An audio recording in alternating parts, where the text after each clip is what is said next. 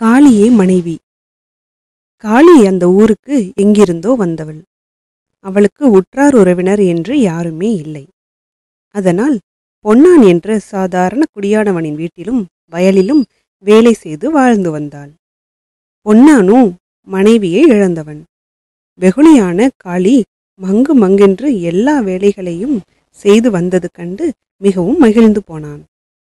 கள்ளங்கபடமற்ற காளி பொன்னானிடம் நான் தான் உன் வீட்டு வேலைகளை எல்லாம் செய்கிறேனே. என்னையே நீ கல்யாணம் செய்து கொள்ளக்கூடாது என்று பலமுறை சொல்லி பார்த்தாள். பொன்னானோ போயும் போயும் உன்னையா கல்யாணம் செய்து கொள்வது? முடியாது என்று மறுத்து கூறிக்கொண்டே வந்தான். காளியின் நச்சரிப்பு நாளுக்கு நாள் அதிகமாகவே அதை தாங்க முடியாமல் பொன்னான். அவள் மெய்மறந்து தூங்கும் பொழுது அவள் உடல் முழுவதும் எண்ணெயையும் கருப்பு மையையும் கலந்து பூசிவிட்டான். காலையில் எழுந்து காளி தன் கை கால்கள் கருப்பாக இருப்பது கண்டு திடுக்கிட்டாள். தன் உருவமே மாறி தான் ஒரு பிசாசாக ஆகிவிட்டாளோ? என்று அவள் பயந்து போனாள். தான் யார் என்பதை உறுதி செய்து கொள்ள அவள் பொன்னானிடம் போய் இங்கே வேலை செய்து கொண்டிருந்தாளே ஒருத்தி அவள் என்று கேட்டாள். பொன்னானுக்கு சிரிப்பு வந்துவிட்டது.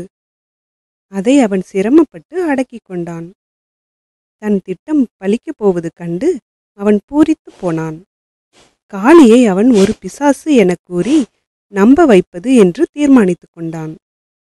பொன்னானும் அவள் எங்கேயாவது கொல்லைப்புறத்தில் வேலை செய்து கொண்டிருப்பாள். நீ அவளை பிடிக்க வந்த பிசாசா? போ அவளை போய் பிடித்துக்கொள் என்று கூறினான். அதை கேட்ட காளிக்கு தான் முன்பிருந்த மானிடப் பெண் இல்லை என்றும் ஒரு பிசாசாக தான் மாறிவிட்டாள் என்றும் உறுதியாயிற்று. அதனால் அவள் அந்த ஊரை விட்டு காட்டை நோக்கி ஓடினாள். அங்கே அவள் இரண்டு திருடர்களை பார்த்தாள். அவர்களும் அவளைக் கண்டு பிசாசு என பயந்து ஓடத் தொடங்கினார்கள். அப்போது காளி பயப்படாதீர்கள். நீங்கள் திருடர்கள்தானே நான் உங்களுக்கு உதவுகிறேன் என்றாள். அதை கேட்ட திருடர்கள் ஒரு பிசாசு தம்மோடு இருப்பது நல்லது என நினைத்து அதை தம்மோடு சேர்த்து கொண்டார்கள். அவர்கள் அன்றிரவு ஒரு வீட்டில் ஆடு திருட போனார்கள். அப்போது காளி தான் உள்ளே போய் ஒரு ஆட்டை தூக்கி போடுவதாக கூறி சென்றாள்.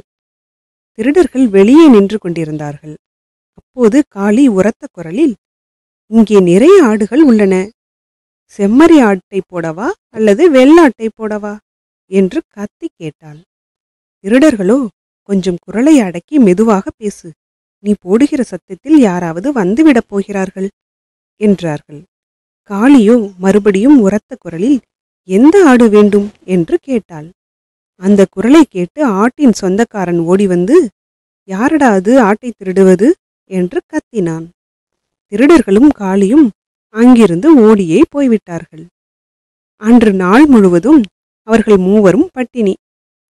அதனால் அன்றிரவு கோழிப்பண்ணையிலிருந்து ஒரு கோழியை திருடி வந்து அதை கொன்று வாட்டி சாப்பிடுவது என்று தீர்மானித்தார்கள். இருட்டிய பின் மூவரும் கோழிப்பண்ணையை அடைந்தார்கள். காளியை அவர்கள் உள்ளே அனுப்பினார்கள். கோழிப்பண்ணைக்குள் சென்ற காளி உரத்த குரலில் இங்கே பெட்டை கோழிகளும் சேவல்களும் ஏராளமாக இருக்கின்றன. எதை தூக்கி போடட்டும் என்று கத்தினாள். அப்போது அத்திருடர்கள் இதோ பார் இப்படி கத்தாதே. கத்தினால் நேற்று ஆட்டுக்காரன் வந்தது போல இன்று கோழிப்பண்ணைக்காரன் வந்து விடுவான் பிறகு இன்றும் நாம் பட்டினி கிடக்க வேண்டி வரும் என்றார்கள். காளியோ அதை கேளாதவள் போல உரத்த குரலில் எந்த கோழி வேண்டும்? என்று கேட்டாள். அந்த குரலை கேட்டு கோழிப்பண்ணைக்காரன் விழித்துக்கொண்டு தடியோடு ஓடி வந்தான் அது கண்டு திருடர்களும் காளியும் சிட்டாய் பறந்தனர். இரண்டு நாட்களாக திருடர்கள் எங்கும் தென்படவில்லை. ஆனால் அந்த ஊரில் மட்டும் ஏதோ ஒரு பிசாசு இரவு வேளைகளில் தெருக்களில் அலைகிறது என்ற வதந்தி பரவியது. மூன்றாவது நாள் திருடர்கள் ஒரு ஆட்டை திருடி வருவது என்று முடிவு செய்தார்கள். காளி தானும் அவர்களோடு வருவதாக கூறவே அவர்களோ வேண்டவே வேண்டாம். நீ வந்தால் எங்களுக்குத்தான் ஆபத்து என்று கூறி அவளை விட்டுவிட்டு போய்விட்டார்கள். காளிக்கோ ஒரே பசி. அவள் காலையிலேயே அவ்வூர் வயல் ஒன்றில் புகுந்து அங்கிருந்த சர்க்கரை வள்ளி கிழங்குகளை தோண்டி எடுத்து சாப்பிடலானாள். வயலில் வேலை செய்ய வந்தவன் பட்ட பகலில் பிசாசு வந்ததைக் கண்டு உடனே ஊருக்குள் போய் பிசாசு விரட்டும் பூசாரியை அழைத்து கொண்டு வயலுக்கு வந்தான். பூசாரியும் அட்டகாசத்துடன் வயலுக்கு சென்றான். அந்த வயலுக்கு போக வயல் ஓரமாக இருந்த ஒரு சிற்றோடையை கடந்தாக வேண்டும். பூசாரியால் அதை கடக்க முடியாததால் வயலின் சொந்தக்காரன் அவனை தன் முதுகில் சுமந்து கொண்டு அந்த ஓடைக்குள் இறங்கினான். இருவர் வருவதைக் கண்ட காளி அவர்கள்தான் காட்டில் சந்தித்த திருடர்கள் என்று நினைத்து விட்டாள். அவர்கள் ஆட்டை எடுத்து வருகிறார்கள் என்று எண்ணி அவள் நல்ல கொழுத்ததாக கிடைத்து விட்டதா கொண்டு வா வாட்டி சாப்பிடலாம் என்றாள். வயலின் சொந்தக்காரன் பயந்து போய் கொழுத்திருக்கிறதா இல்லையா என்பதை நீயே பார்த்துக்கொள் என்று கூறி தன் முதுகின் மீதிருந்த பூசாரியை துப்பென்று கீழே போட்டுவிட்டு தலை தெறிக்க ஓடிப்போனான்.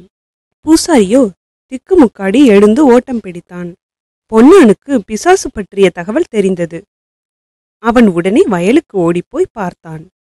அங்கே தான் கருப்பு சாயம் பூசிவிட்ட காளியை கண்டான். அவள் தன் பசியை போக்கிக் கொள்ள வள்ளி கிழங்குகளை படக் படக் என்று ஒடித்து தின்று கொண்டிருப்பதைக் கண்டு அவன் அவள் மீது இரக்கம் கொண்டான். அவன் அவளை அழைத்து போய் தண்ணீர் விட்டு நன்கு குளிப்பாட்டினான். அவன் மனமும் மாறிவிட்டது. அவன் அவளை மணந்து கொண்டு விடுவது என்று தீர்மானித்தான்.